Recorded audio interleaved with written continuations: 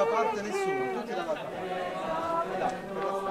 Santi Sacco e Giovanni, pregate per noi. San Pietro Chanel, prega per noi. San Carlo Luana, prega per noi. San Superfino e Felicita, prega per noi.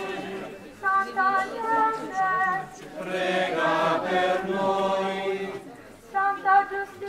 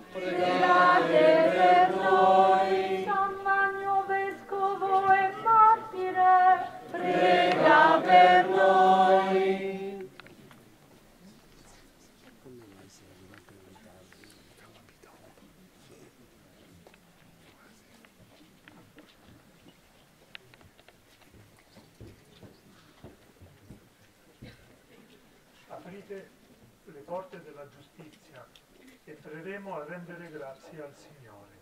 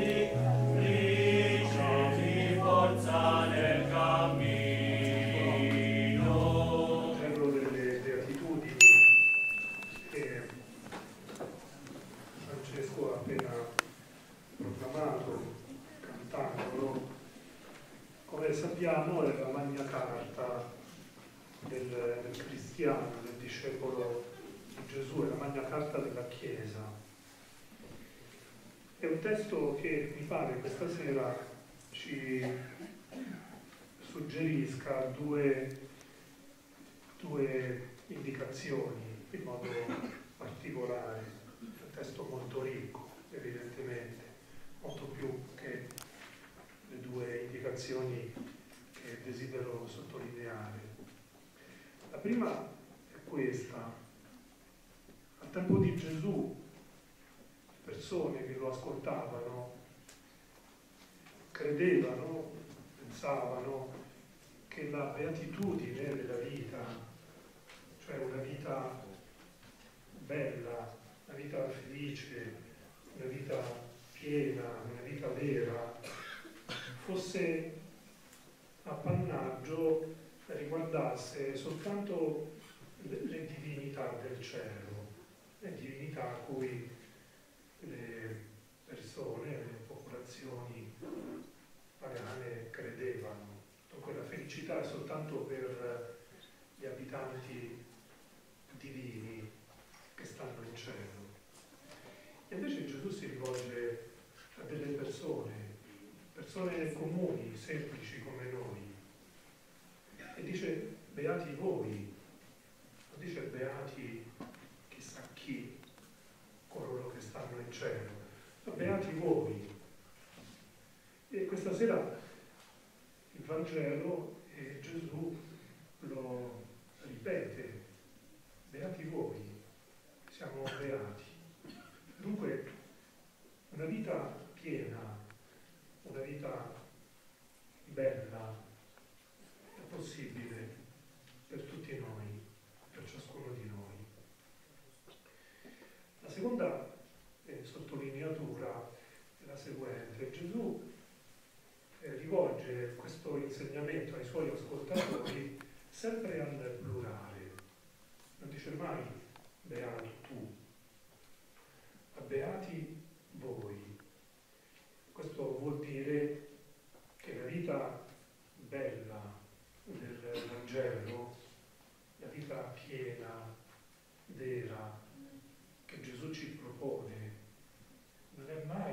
Possibile realizzarla o sperimentarla privatamente, ciascuno per conto proprio.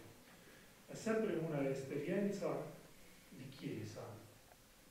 Eh, quindi soltanto insieme, soltanto se si vive insieme il Vangelo, soltanto se si cammina insieme, secondo la logica del Vangelo, è possibile sperimentare questa magna carta che Gesù consegna alla Chiesa, che Gesù consegna ai suoi discepoli.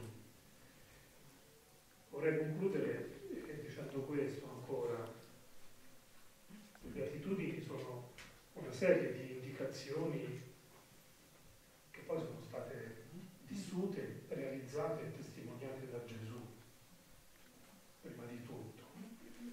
E allora noi possiamo sintetizzarle, proprio oggi che celebriamo la solennità di Cristo, Re dell'universo, tutto quello che ci è proposto nelle beatitudini, possiamo sintetizzarlo con, facendo riferimento a Gesù, Gesù Re, che è un Gesù crocifisso, non ce lo scordiamo mai. Gesù non è il Re potente, dominatore, che segue il lusso, che segue i fasti. Gesù non ha mai fatto i fuochi d'artificio. Così risulta dal Vangelo.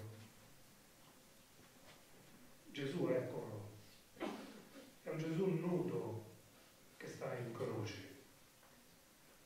È un Gesù il cui unico eh, criterio di, di annuncio e di consegna della salvezza è il servizio e il dono della sua vita, fino a morire.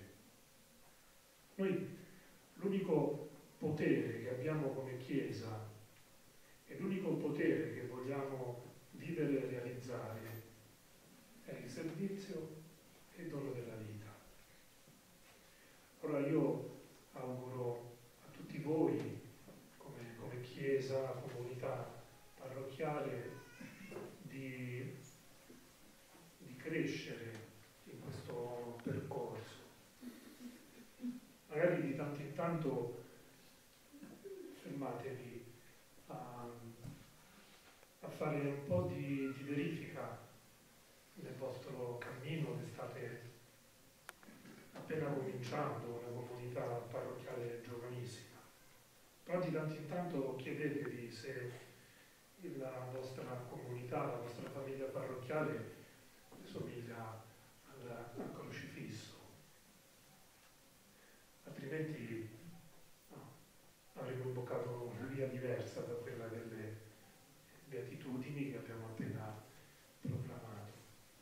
Allora, tanti auguri a tutti voi perché anche potendo beneficiare di questo giubileo e di tutti i doni di grazia che un giubileo offre, mette a disposizione dei cuori aperti e disponibili, ecco, possiate crescere secondo quanto Gesù Re, o Re crocifisso, che si dona fino a morire per gli altri, ci insegna e si aspetta da tutti noi. Allora, buon cammino a voi e tanti auguri.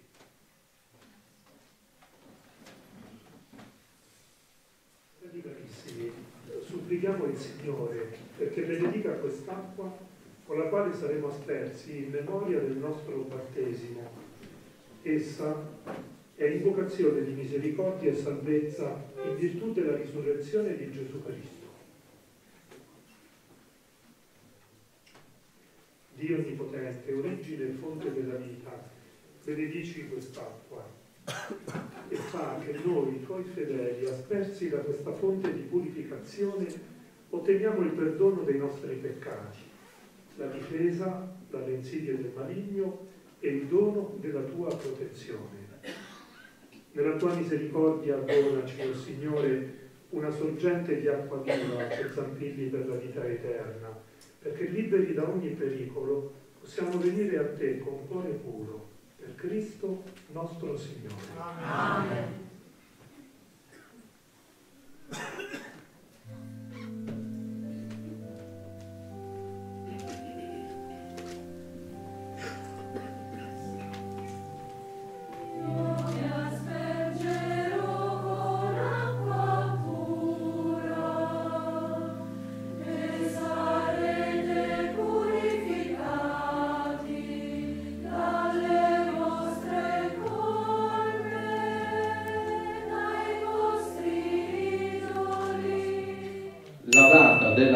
Dedicazione del nuovo complesso parrocchiale sarà sabato 22 febbraio alle ore 19.30 del prossimo anno.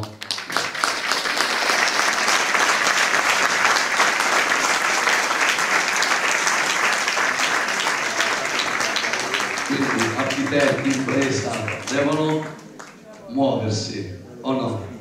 Che dite? Ok. Ora ci mettiamo in piedi insieme preghiamo la, la preghiera del giubileo per il vescovo.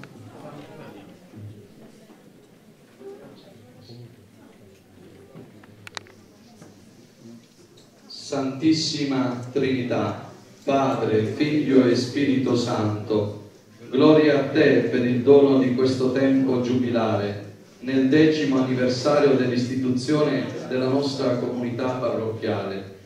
Padre, ti rendiamo grazie perché ci doni un tempo favorevole alla riconciliazione con te e con i fratelli, per riprendere con nuovo slancio il cammino di fede, speranza e carità nell'oggi della Chiesa.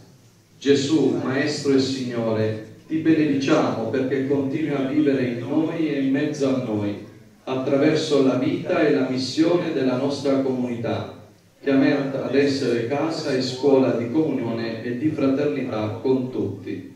Spirito Santo, diamo gloria a Te perché nella vita buona e virtuosa del nostro patrono San Magno, Vescovo e Martire, ci aiuti a riconoscere il tuo spirito di santità. Il suo esempio ci incoraggi a rendere più operoso il nostro servizio a chi è povero, ammalato, stanco e oppresso. Maria, Madre di Cristo e della Chiesa, ottienici il dono della fedeltà verso Dio e i fratelli, sostienici con fortezza nell'ora della prova e orienta il nostro cammino verso la patria del cielo. Gloria al Padre, al Figlio e allo Spirito Santo. Lo,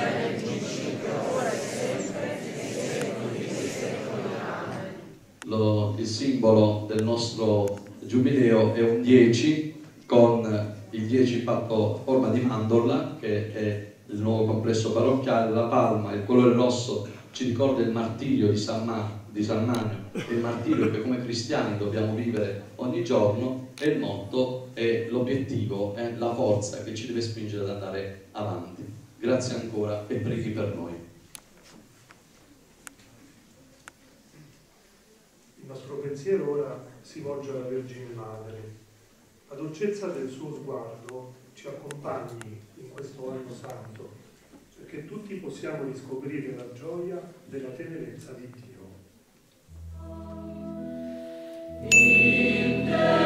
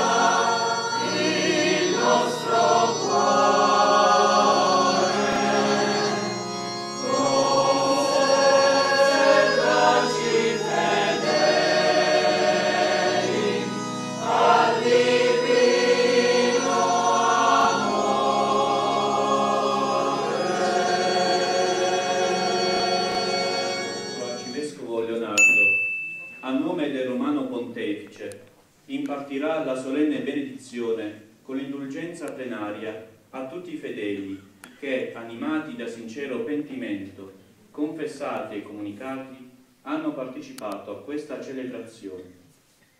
Pregate Dio per il Beatissimo nostro Papa Francesco, per il nostro Vescovo Leonardo, per la Santa Madre Chiesa e impegnatevi a vivere santamente in piena comunione con Dio e con i fratelli.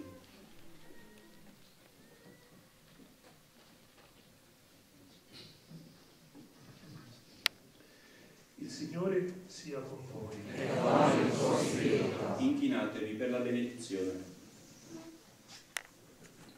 Sia benedetto il nome del Signore. ora e sempre. Il nostro aiuto è nel nome del Signore. Egli ha fatto cielo e terra. Vi benedica Dio Onnipotente, Padre e Figlio e Spirito Santo.